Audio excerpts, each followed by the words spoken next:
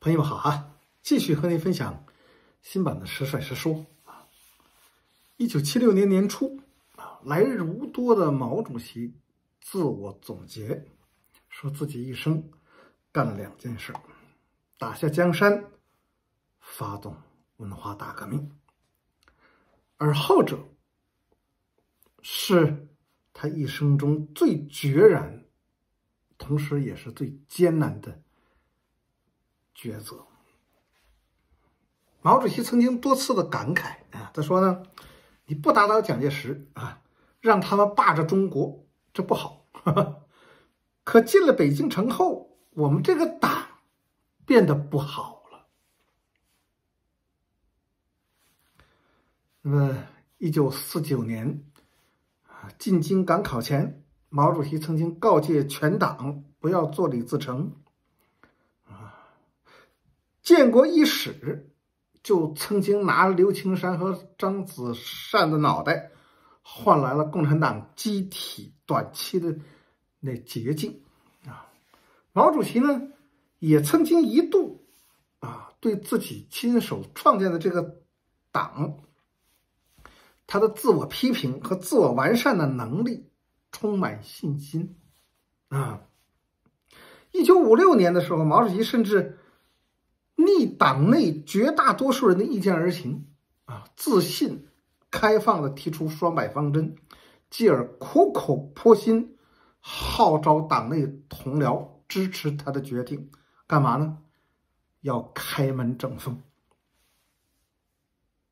这都显示了毛主席曾经对于中国共产党的这种自信，啊，但是。但是很显然，嗯，毛主席在对这个党啊如此自信的时候，他低估了这个党的变质的速度。嗯，不一样啊，进了城了，执了政了。嗯，那么呢，开门整风，双百方针遭到了以刘少奇、邓小平。彭真为代表的党内官僚利益集团的强烈的抵制，啊，加上民主党派啊，知识阶层啊，确有那么一批人自不量力，趁机抛出什么政治设计院的党天下等等这样的政治言论和政治主张，嚷嚷着要和中共轮流坐庄。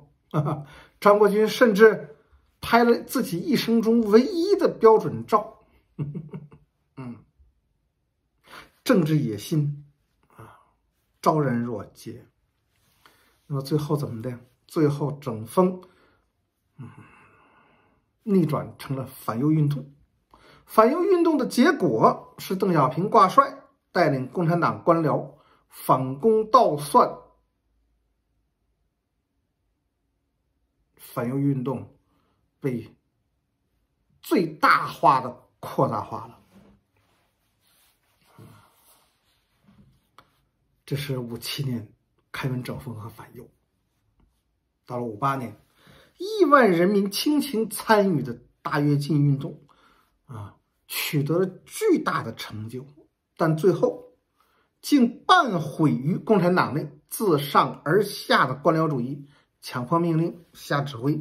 浮夸风、共产风，这五风之中，五风刮过以后啊，当安徽、河南呢、四川的一些地方已经是饥荒遍地的时候，这中国共产党内的这些死官僚，当时有个名词叫“死官僚”啊，这些死官僚们依然为了自己的政绩和乌纱帽，欺上瞒下，啊，鱼肉百姓不止。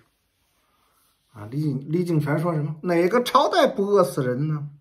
啊，数百万人的非正常的死亡事件，就这样被李景全呢、曾希圣啊、吴芝福啊这些老爷们就轻如此轻飘的就给打发了。嗯，但是直到大跃进的后期，即使是这样，到了大跃进后期的时候，毛主席还依旧宁肯相信。他宁肯相信什么呢？说这些人啊，这些自上而下刮五风的这些人，这些他妈的这个各路诸侯啊，包括李景泉、曾希圣、吴志福这些人，嗯，毛主席依旧认为这些人中大多数呢，他们的思想和立场是没有问题的，啊，只不过这些人是红而不专，他们想为人民服务，但是还不善于为人民服务，犯错误呢也顶多啊是能力。水平的问题，是工作方法的问题。毛主席到那个时候，到五八年年末的时候，大家就后期说，他也不愿意相信说这些人脑子问是脑子的问题。啊，毛主席的这种思考，一直到四清之后才彻底突破，所以后来才有了文化大革命。啊，正因为他认为这些人更多的是。能力水平问题是工作方法问题，于是直到七千人大会上，六二年年初了，毛主席依旧还耐心细致的给大家讲讲民主集中制，语重心长的号召大家走群众路线，开展批评与自我批评，苦口婆心奉劝这些跟了他几十年的这些个共产党干部们，嗯。不要学西楚霸王，否则要霸王别姬的。毛主席在七千人大会上讲话，啊，中心的内容就是民主集中制，其实就是中心的内容还是在向他们他的这些个部下们传授啊这个工作方法。毛主席那时候还不愿意相信，起码他想到没想到不好说。但他起码他想到了，他也不愿意相信这些人他妈立场、感情，嗯，随着进城当了老爷之后，彻底的改变了，啊，变成了后来毛主席总结出来的走资本主义道路的当权派，啊，到最后了七十年代末八十年代初，不就是，那不就是真正的共产主义事业的叛徒吗？就这些人。嗯，那么还是这些在大跃进中亲手制造了一桩桩人祸的这些老爷们啊，包括他们啊，在中央的后台老板啊，刘少奇呀这些人啊，面对着国难，面对着时间，一夜之间又突然间从极左。大跃进时期的极左，转向了六二零七千人大会之后的极右，嗯，上下同欲是沆瀣一气啊！七千人大会之后，从中南海西楼会议开始，刮黑暗风、带干单干风，要从根本上颠覆刚刚建立起来的人民公社之大农业制度，要开生产力的倒车。这毛主席不让，啊，这毛主席不让。面对毛主席的抵制，竟然在相当的一个时期里面，啊，这些人仰仗着他们人多势众又位高权重，竟然和毛主席分庭抗礼，啊，甚至到最后，毛主席自己的秘书都站到了自己的对立面上去了。只是到了这个时候，毛主席不禁扪心自问了，毛主席会就问了。就会扪心自问说：这些人还是共产党员吗？啊啊啊！这个共产党还是那个为人民服务的共产党啊？接下来，四清、社旧，他们干了什么啊？刘少奇夫妇 啊啊，指挥全国的四清工作队们干了什么？打击迫害，假公济私，忽左忽右，行左施右，当官做老爷，特权大无边，直到最后，直到最后，他们成为了一个当权派的利益阶层。用后来文革决议的话来讲，那就是一大批资产阶级的代表人物，反革命的修正主义分子，已经混进党里。政府里、军队里和文化领域的各界里，相当大的一个多数的单位的领导权已经不在马克思主义者和人民群众的手里。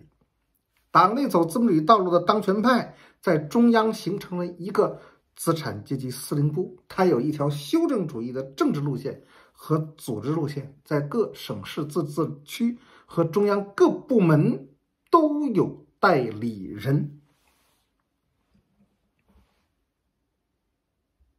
这个结论就是毛主席晚年思想的重大的理论突破啊，也成了发动无产阶级亡大命的理论依据。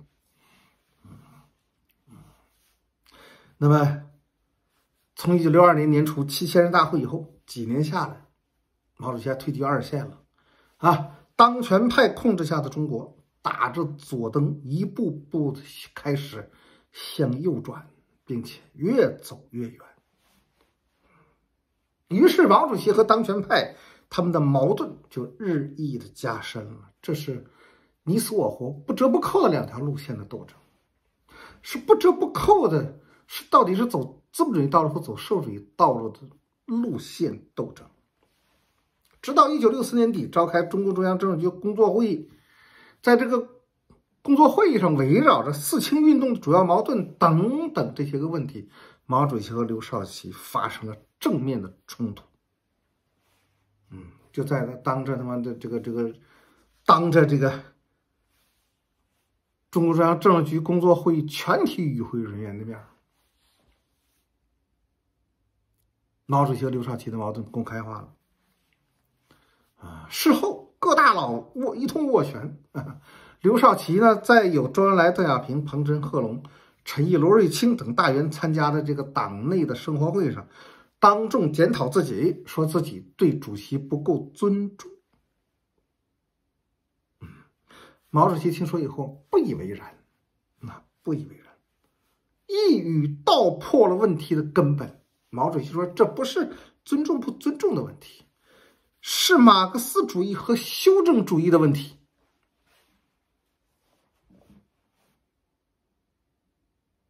你说五十多年以后，今天快六十年了，我们回过头再看一下，把这个过程我们梳理了一下之后，一直到到这儿，到毛主席说这是马克思主义和同修正主义的问题。你我们真是不得啊，不敢配啊！中国人民真是很幸福。胡志明经常说，中国人民真幸福，中国人民有毛主席。五十多年，快六十年前，嗯，毛主席一语道破。什么叫得风气之先？什么叫先知先觉？什么叫导师？啊！你现在回头看一看，这五十多年里头，尤其这四十多年里头，在中国大地上发生了什么，历历在目吧，朋友们都。啊，毛主席当年总结出来的。这两条路线斗争，啊，这个修正主义的问题，走社会主义道路还是走资本主义道路的问题，啊，单干风、黑暗风意味着什么的问题？对于人民公社意味着什么？对于以人民人民公社为标志的中国的崭新的大农业制度意味着什么？嗯？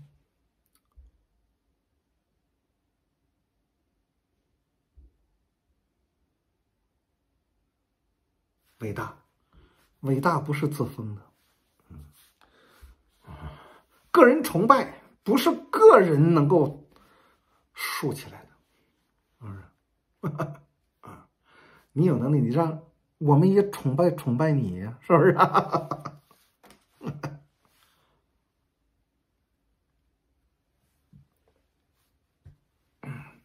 于是到了一九六五年，毛主席重上井冈山。在山上的时候，啊，曾经对张平化等等湖南的、江西两地的领导人系统阐系统的阐述了自己几年以来的观察和思考。毛主席说什么？我为什么把包产到户看得那么严重呢？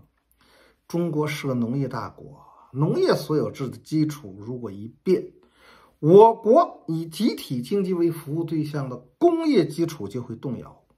工业产品卖给谁呀？工业公有制有天也会变，两极分化快得很。帝国主义从存在的第一天起，就对中国这个大市场弱肉强食。今天他们在各个领域更是有优势，内外一家攻。到时候我们共产党怎么保护老百姓的利益，保护工人农民的利益啊？怎么保护和发展自己的民族工商业，加强国防啊？中国是个大国，穷国，帝国主义会让中国真正富强吗？啊，你问问特朗普去，你问问拜登去，哈 哈那别人靠什么耀武扬威呀？啊，所以他不会让你真正富强起来，是啊？仰人鼻息，我们这个国家就不安稳了。振聋发聩，醍醐灌顶，石破惊天，怎么形容都不过六五年毛主席的见识、见和识。毛主席还说什么？毛主席说：“事情不是那么简单，人家资本主义制度发展了几百年，比社会主义制度成熟的多，但中国走资本主义道路走不通。中国的人口多，民族多啊，封建社会历史长。”地区发展不平衡，近代又被帝国主义弱肉强食搞得民不聊生，实际上四分五裂。我们这样的条件搞资本主义，只能是别人的附庸。帝国主义在能源、资金等许多方面都有优势，美国对西欧资本主义国家都是既合作又排挤，怎么可能让落后的中国独立发展，后来居上呢？你再看看最近。啊，你想一想，你想一想北溪管道的爆炸声，啊，你再想一想这个一步步陷于美国奴役的今日的欧洲，你看欧洲今年冬天怎么过？为了过今年这个冬天，啊，欧洲会对美国，啊，做出什么样的这样的让步和表示啊？你看看。美国对欧洲，嗯，你看他这帮小兄弟们，哈哈，嗯，毛主席说，过去中国走资本主义道路走不通，今天走资本主义道路，我看还是走不通。要走，我们就要牺牲劳动人民的根本根本利益，这就违背了共产党的宗旨。国内的阶级矛盾、民族矛盾都会激化，搞不好还会被敌人利益用。六五年，井冈山上，嗯，这意义啊，这意义，这种这这这理理论意义啊啊。包括日后的实际文化大革命的实践意义啊，这和一九二七年毛主席在井冈山上啊预言星星之火可以燎原啊，哈哈，啊，伟大。那么到了一九六零年代中期啊，毛主席那时候阳春白雪。在党内，尽管阳春白雪，到六十年代中期，毛主席终于实现了自己的理论思想突破。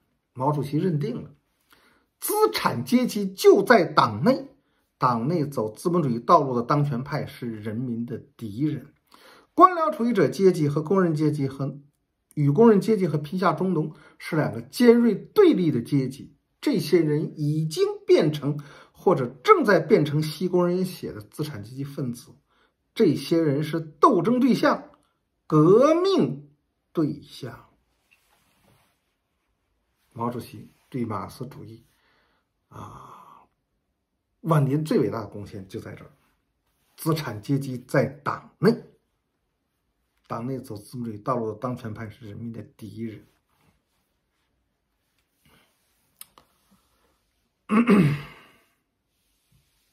到了这时候，贺者盖寡的毛主席终于下了决心了。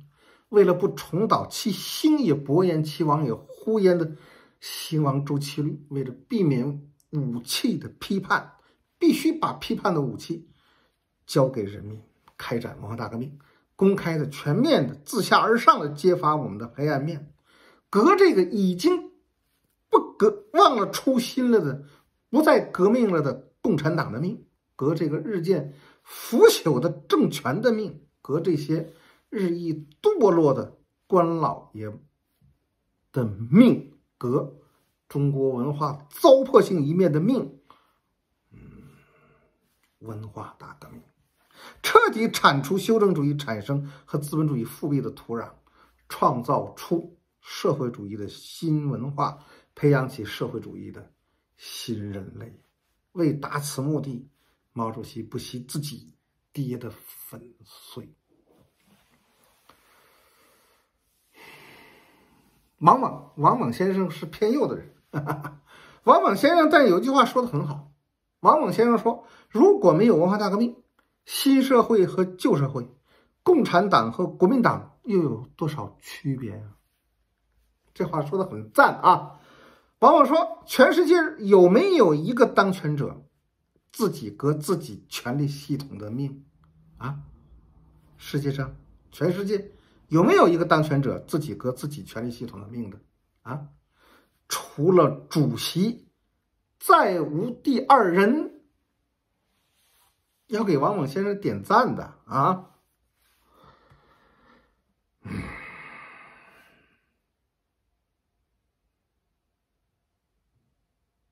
那么。啊，今天要说的长一点啊。文革前夜的时候，毛主席跟他的护士长吴锡军不是说吗？啊，我多次提出主要问题，他们接受不了，阻力很大。我的话他们可以不听，这不是为我个人，是为将来这个国家、这个党将来改变不改变颜色、走不走社会主义道路的问题。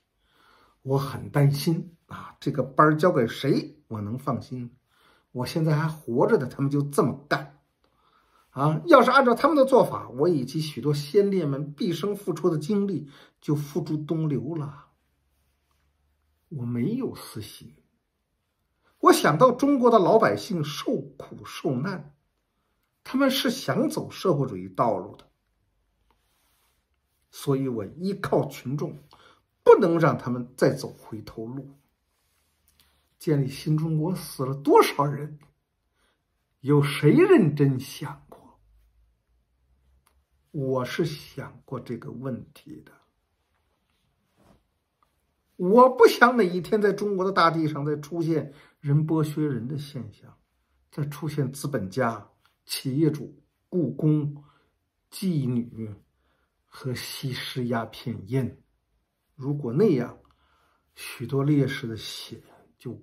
白流了。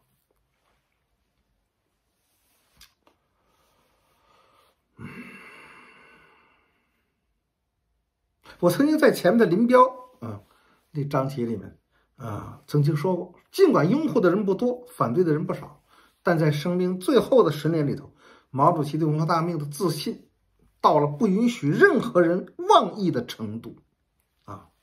天大地大不如文化大革命的干系重大。